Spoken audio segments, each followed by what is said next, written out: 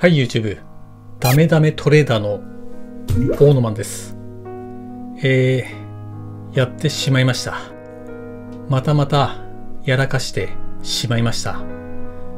皆さんは世の中は公平だと思いますか？それとも不公平だと思いますか？たまたま生まれ育った環境だけで金持ちだったり貧乏だったりイケメンだったり、ブサイクだったり、頭が良かったり、バカだったり、株で成功したり、株で失敗したり。タレントのビートたけしさんは、ちなみに私、たけしさんと同じ誕生日なんですけど、そのたけしさんが昔テレビで、世の中は公平だと言ってました。皆さんはどう思いますか？ということで、今回の動画は毎月恒例の株式投資の損益報告となります。今回は先月7月の結果でございます。えー、いつも、えー、株の結果報告が遅くなって本当にすいません。まずは先月7月の日経平均のおさらいからです。こちらが7月の日経平均のチャートになります。相変わらず日経平均は弱い動きをしております。株価は完全にピンクの100日移動平均線、青の60日移動平均線、緑の20日移動平均線の下を推移しており、下降トレンドに入ろうとしております。ただ、7月30日が前回のここと同じになって、ちなみにここも一緒。ここで下げ止まった感はありますが、トレンドとしては依然として予断を許さない状況となっております。だから日経平均連動の ETF は私なら買いません。ではここから7月の取引の勝率と損益金額の発表です。7月の勝敗は1勝2敗の3割3分3厘でした。なんと7月の取引回数はまさかの3回です。それなのにです。次に具体的な儲けた金額と損した金額、そして月間の損益金額となります。7月の儲けた金額はたったの340円。そして損した金額はマイナス66,369円です。その結果として7月の月間の損益金額は冒頭でご覧いただいたマイナス6万6000飛んで29円の大損でした。月利にしてマイナス20.53%になります。例えるなら100万円のお金が1月で80万円になっちゃう割合になります。もっとも私の資産は100万円ではありません。この結果を受けて株式投資資金の推移を申し上げますと、6月末32万1547円に7月の損6万6000飛んで29円を引きまして、7月末の資金は25万5518円となってしまいました。いやー、参っちゃいましたね。何が参ったかって、まあ、6万円を失ったのはもちろん痛いです。それ以上に、資金が30万円を下回ってしまったのがとても痛いです。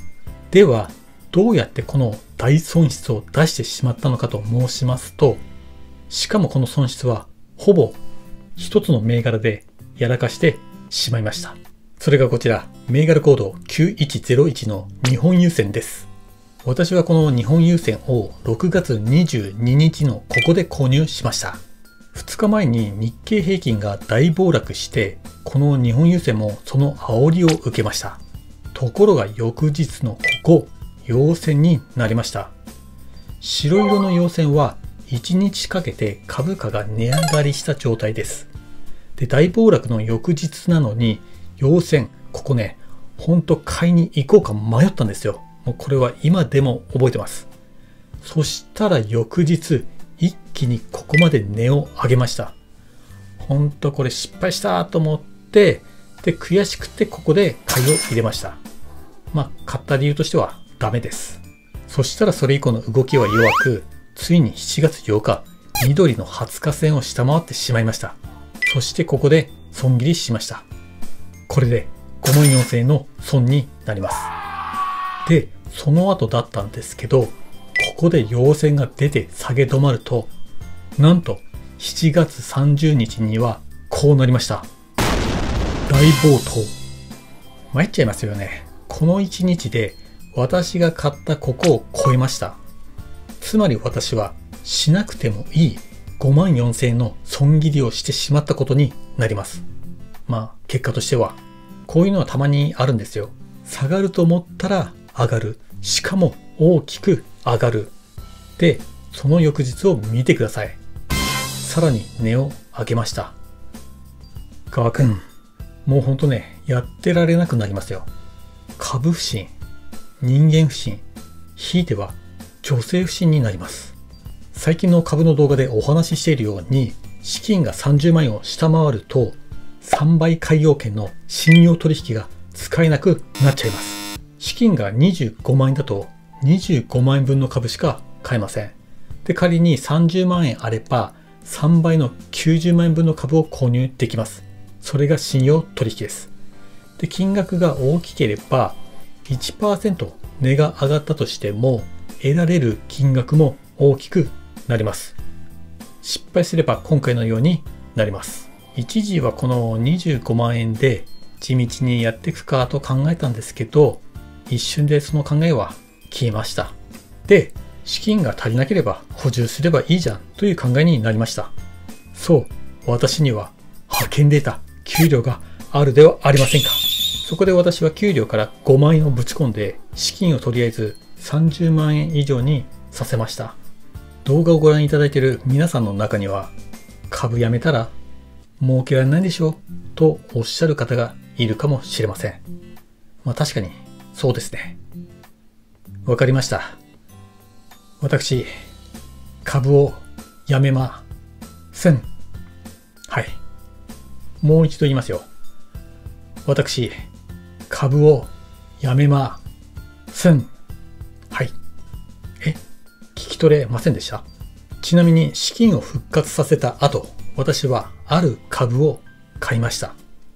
それは何かと申し上げますと、日本郵船です。こちらをご覧ください。その後、8月の某日に日本郵船を売りました。つまり、決算しています。具体的な日にちと売買金額は来月の動画でお伝えします。で、こちらの受け渡し金額ですが、損益金額です。プラスなら儲け、マイナスなら損でを発表します。その後購入した日本郵船の損益金額はこちら。